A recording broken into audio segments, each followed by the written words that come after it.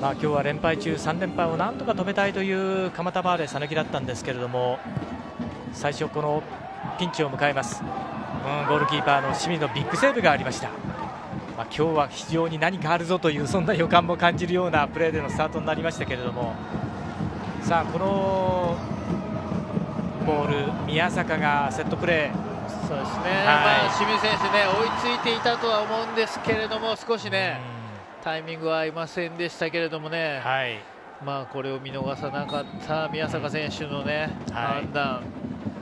技術、まあ、どれをとってもね素晴らしいですよね。リスタートからのこの一蹴りでこれがゴールに吸い込まれていって1対0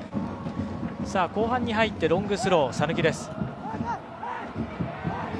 このシュートが跳ね返ったところに原が詰めていって原今季初ゴール。これで1対1の同点に追いついた蒲田マーレ佐々木です。そうですね。かなりラッキーな、ね、形だったと思うんですけどね、えー、はい、このこぼれたボールに対してのシュートもね、えー、ミートできませんでしたしここも永田選手ねいたら当たったっていう感じだったのでね、えー、そこにちょうど原選手が詰めてたっていうね、はい。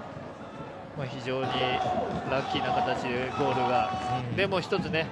いい形出ましたね、まあ、流れがこれで佐野に変わるかなと思ったその矢先の出来事だったんですけれどもここからこれも馬場がいややはりちょっと先ほどちょっとまあ形は違うんですけれどもそのリバウンドといいますか跳ね返ったところ。はい、はい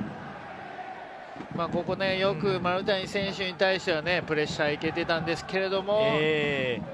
ー、このこぼれに対してはね、少しやはりね馬場選手の方が反応早かったですね。そしてこう最後のチャンス